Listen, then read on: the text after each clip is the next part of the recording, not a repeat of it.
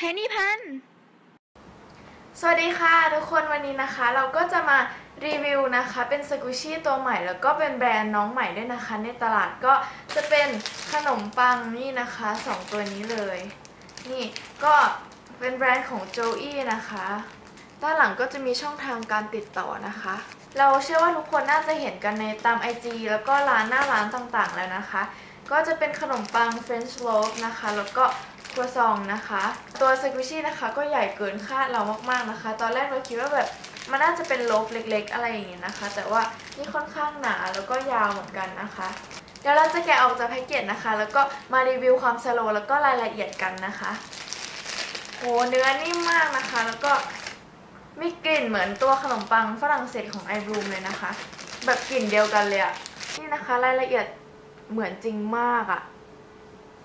แล้วก็จะมีเหมือน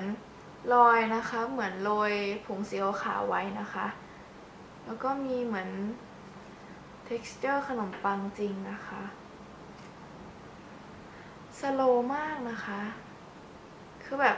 เราได้เห็นความสโลมาแล้วใน IG นะคะ แล้วก็มีคนบอกว่าสโลมากน่าซื้อมากนะคะ แล้วก็เลยสอยมาแล้วก็เอามาขายด้วยนะคะสโลจริงนะคะ ต่อไปนะคะเราจะมาดูครัวซองกันนะคะ เหมือนเดิมเลยแพ็กเกจธรรมดาแล้วก็มีป้าย นี่นะคะ ชิ้นนี้ก็จะเป็นชิ้นที่แบบพอดีมือนะคะ เราคิดว่าไซส์ประมาณนี้นะคะกำลังโอเคเลยอะกลิ่นเดิมนะคะหูสโลมากนะคะ ถึงจะเป็นชิ้นเล็กๆนะคะ แต่แบบความสโลก็ชนะเลิศมากนะคะ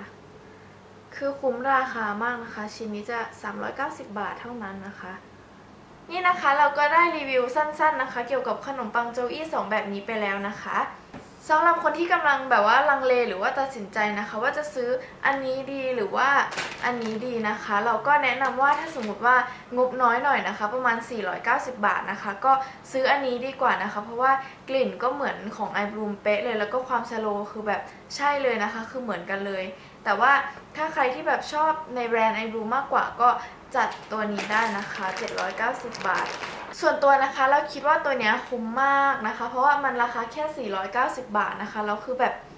ความสโลแบบสโลมากแล้วก็นุ่มมากหอมมากนะคะ แล้วก็ชิ้นใหญ่คือมันคุ้มราคาทุกอย่างนะคะแล้วก็เลยแนะนำคนที่งบน้อยกว่านะคะ ให้ซื้อตัวนี้นะคะ จะคุ้มแบบคุ้มจริง ๆนะคะ คือมันเป็นงานที่ดีแล้วก็เนื้อดีสุดๆนะคะ ส่วนครัวซองนี้นะคะ ก็ราคา 390 บาทนะคะ ก็ถ้าใครสนใจอะไรยังไงนะคะ 2 ตัวนี้จะมีขายที่ร้านเรานะคะ นี่ ก็อย่าลืมไปเช็คนะคะ แล้วก็ไปติดตามกันได้นะคะ ถ้าใครชอบวิดีโอนี้ก็อย่าลืมกดไลค์แล้วก็กด subscribe นะคะ ก็เจอกันใหม่ในวิดีโอหน้านะคะ บ๊ายบาย